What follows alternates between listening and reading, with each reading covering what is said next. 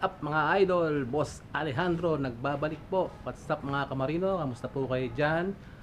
Ah, ngayong hapon po, kwentong barbero po muna tayo.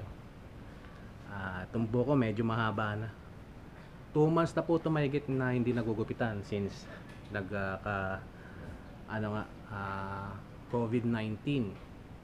So ngayon hapon po, eh tuturuan ko po kayo kung paano nyo gupitan ang sarili nyong mga buhok.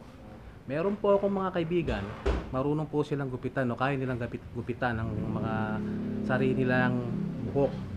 Pero hindi ko po alam kung paano sila natuto. Eh ako po, i-share ko po sa inyo kung paano ko ito natutunan. Pero kailangan po, meron po kayong sariling clipper, mga kapatid. Ito po, niready ko na. Kasalamin.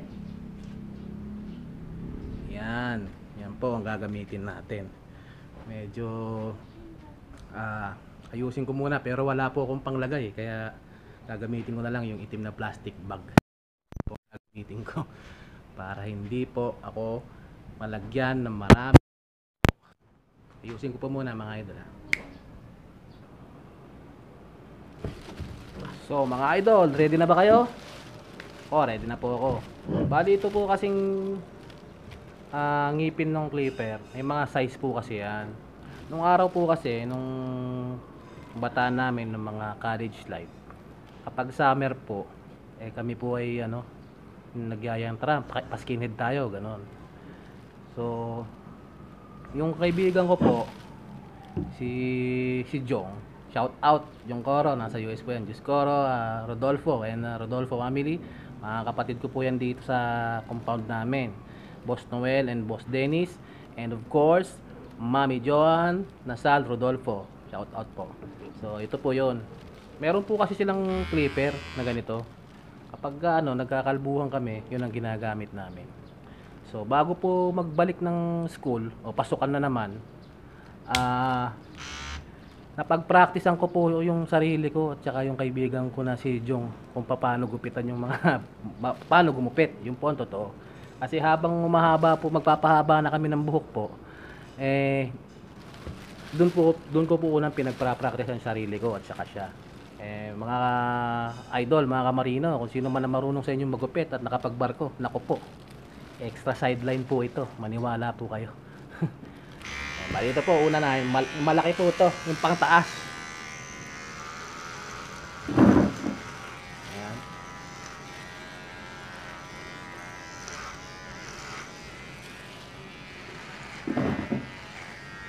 Hindi po ito kalbo ah. Mas maganda pong maggupit ng buhok pag yung buhok nyo ay medyo kulot. Kasi pag uh, meron po kasi akong mga buhok na nagugupitan eh, sobrang hirap gupitan dahil ang buhok nila ay sobrang unat. Hindi ko po ina-advise sa inyo, pumunta na kayo sa barbero. Pero pag ang buhok nyo yung texture ay medyo may pagkakulot o yung hindi masyadong mapapansin kung kasi yung unat ko pagka isang ganun mo lang parang natapyasan na eh mahirap mahirap gupitan pero nakakapaggupit po ako ng ganun so ito po ngayon mga idol inuna ko lang itong taas kasi ito yung mahaba eh. dalawang buwan po kasi hindi napagupitan yan Gaminin nyo mo yung pinakamalaki. Ito ata yung ano bang size nito. 8. May 9 pa nga nito eh. Tapos sa gilid po, gamitin nyo muna, paunti-unti lang, yung number 3. Para hindi po kayo masyadong, baka mamaya pag inuno nyo eh, magkamali kayo, nako, kalbo po ang katutuluyan ng buhok nyo. Tapos dito po sa gilid.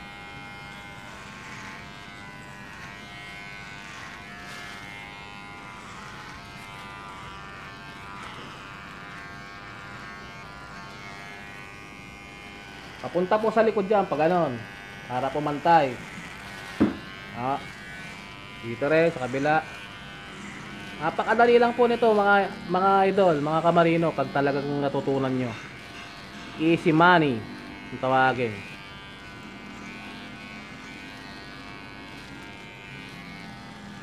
Yung likod, kahit di ko nakikita yan, papantay po yan kasi pantay po itong clipper eh. Hahawakan ko lang dito sa taas para meron po akong guide. Ganyan.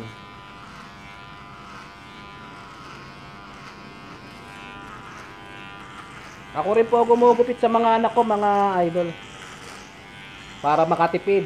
Pag andito ako nakabakasyon, ako po nagugupit sa mga anak kong lalaki.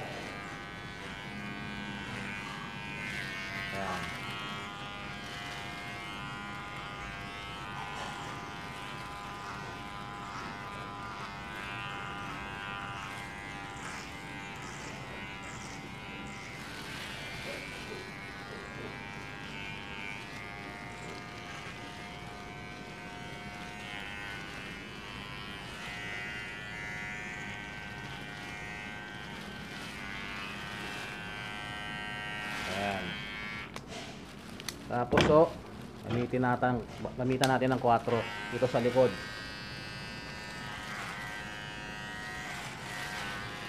Kasi po kabisado ko na eh dahil matagal ko nang ginagawa to. Nagsimula po to, idol. Eh, nung nagbarko ko, hindi ko naman alam na pagkaka magkaka-sideline ako ng ganito eh. Nung ba- nagbarko po ako, bumili po ako ng sarili kong ganito, flipper, kasi iniisip ko mahal ang gupit sa ibang bansa. Totoo naman po yun. Eh nung naggupit po ako, nung humaba po yung buko, naggupit po ako sa CR. Sabi nung kasama ko sa kabina, yung kakabin mate ko, Utol, ang ginawa mo? Ha? Ginapitan mo yung sarili mo? Ganon, idol. Sabi na sa akin, naku, magandang business yan. Ako na ang una mong maging customer. Sigurado ako marami kang magiging ano, customer, sabi niya. Kasi mag- pag nagustuhan nila yung gupit mo. Ayun, totoo po. Nangyari po yun. Tapos, dos na po tayo. Hagulin nyo lang po na pag ano, no?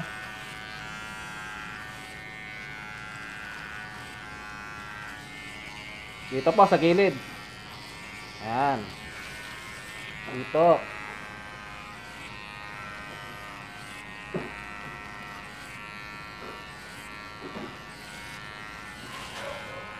Pataas sa likod. Hagod. Antay, tansyahin nyo lang po yung, yung kamay ko nakikita nyo. Wala kasing maghahawak ng camera ko mga idol kaya hindi nyo makita eh. Tapos sa kabila ho. Ganon din. Matansyahin nyo lang ho.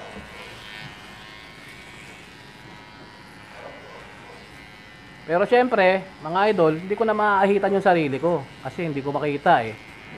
Eto lang kasi, pag sa barko, okay na to kasi at least bagong gupit ka. Pero yung mga ginugupitan ko, naahitan ko po sila. Hindi po pwedeng hindi. Simula po nung magbarko ako, pinagkakitaan ko na to.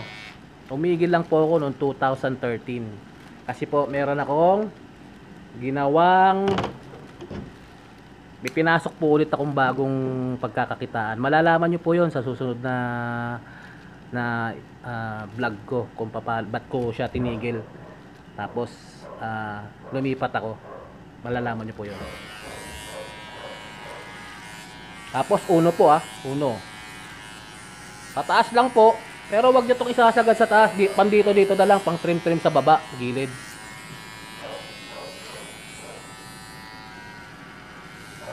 Tsaka sa likod, gilid.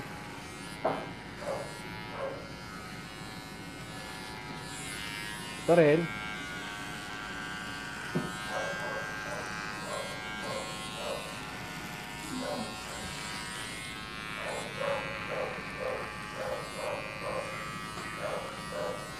Kasi sa barko idol, kailangan marami kang alam gawin para magkaroon ka ng sideline or extra kita. Kung marunong ka magmasahe, nako, mas maganda. Marami po doon mga kamarino natin na napapagod sa trabaho, na gusto magpamasahe, kasi pag sa labas sila nagpamasahe ng barko, eh medyo may kamahalan po. Lapit na po matapos to mga idol. Atansyahin ko na lang tong harap, babawasan ko.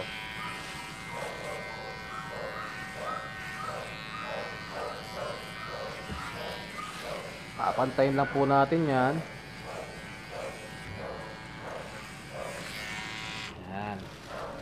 Tapos dito po sa, harap, atansyahin ko po, naaayon sa gupit na gusto ko.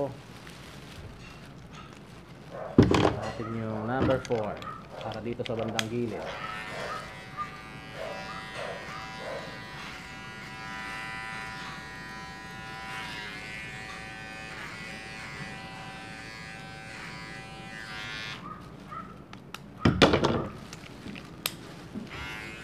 Kung may gunting kayo, kailangan pala talaga may gunting kayo, lalo na pag magugupit kayo ng buhok ng ibang tao. no?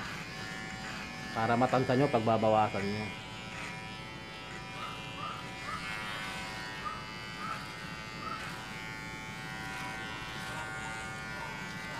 Oh, almost done na po.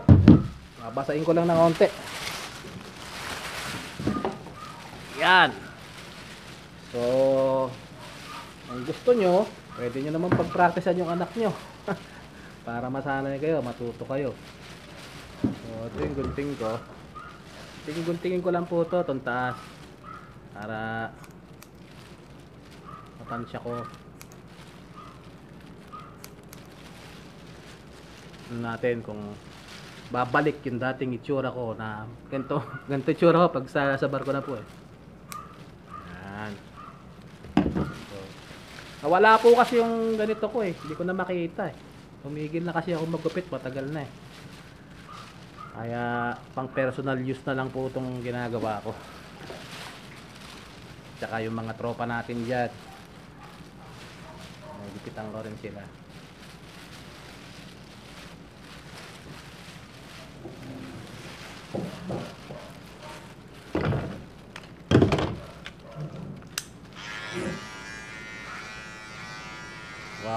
Konti. Wawas konti.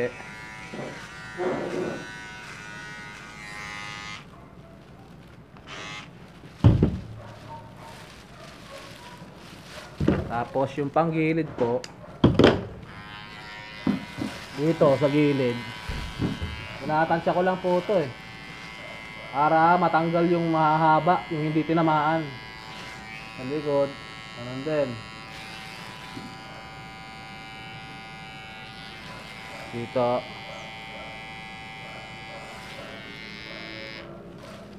yun dumi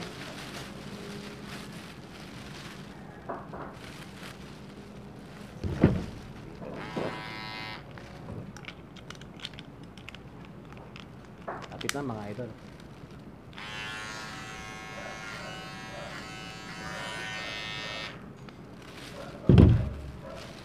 Ayan. Medyo natapos na po idol. Mga kamarino. Yan lang po kasi simple oh. Hindi ko po kasi maiikot eh.